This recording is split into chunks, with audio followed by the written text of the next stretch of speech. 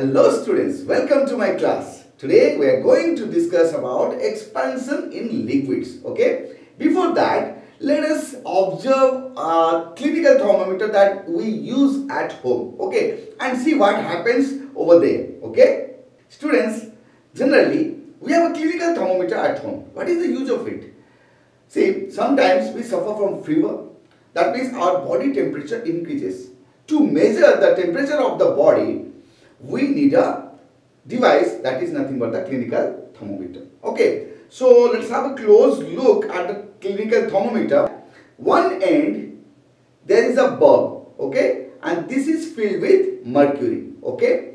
The other end is sealed after taking out air from it and you can see that you can have your own thermometer in your hand if you wish that you can see that there are some markings on it. These markings help us to know about the body temperature. You need to remember that not only the clinical thermometer but all other thermometers also they work on the principle that matters expand on heating.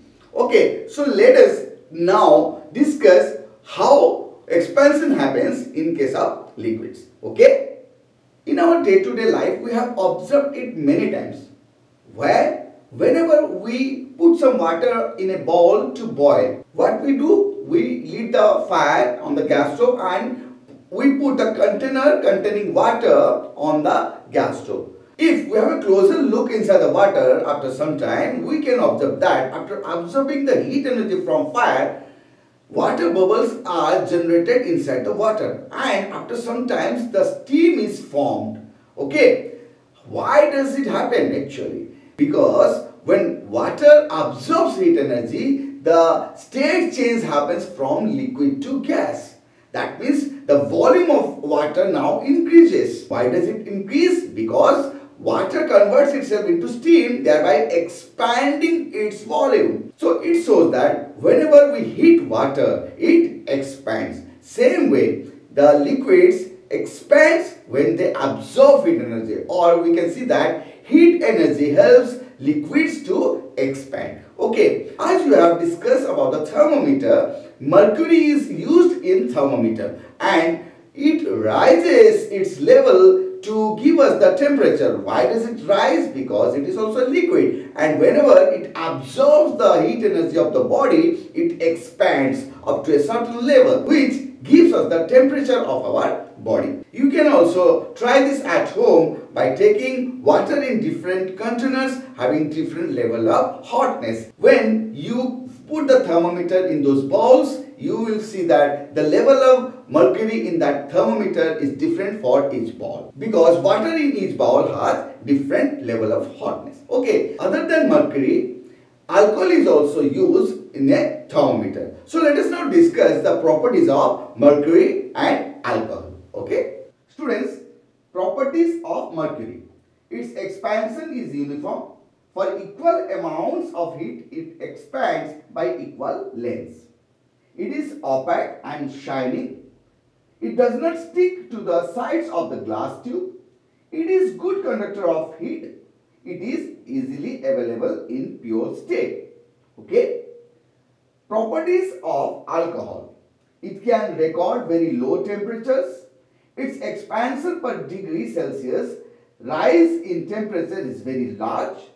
It can be colored brightly and hence is easily visible. Okay. So students, as mercury has this kind of properties that it expands uniformly and it is shining and it is not sticky because see the thermometers are made of glass. So if something sticks onto it, it can't expand properly. So it doesn't stick onto glass. That's why mercury is preferred in thermometer because it expands uniformly.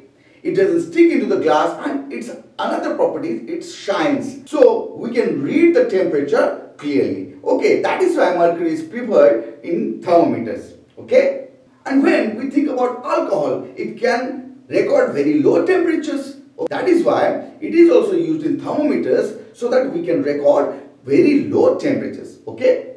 Students, let us now discuss how to use a thermometer. Okay. See, as we have discussed that in thermometer mercury is used and this is a clinical thermometer and this ball contains mercury. To measure the temperature, for example, if we need to measure the temperature of our palm.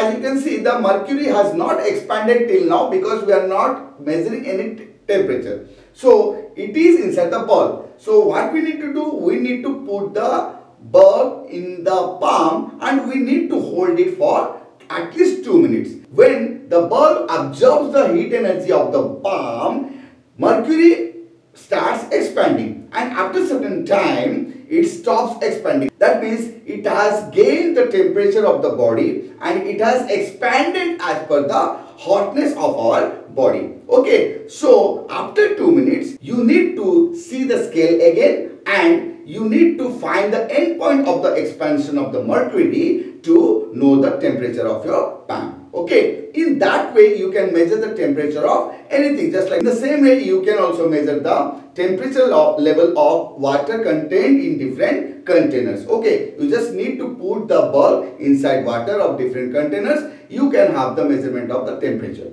Further means if the scale of the thermometer wipes out, not to worry. We can make the scale ourselves. How? See, we need to put the bulb of the mercury in ice. So you need to take some ice in any container and put the bulb of the thermometer in ice.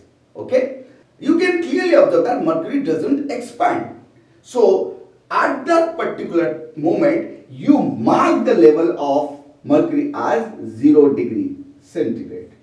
Now what you need to do? You need to take out the thermometer and put it in water.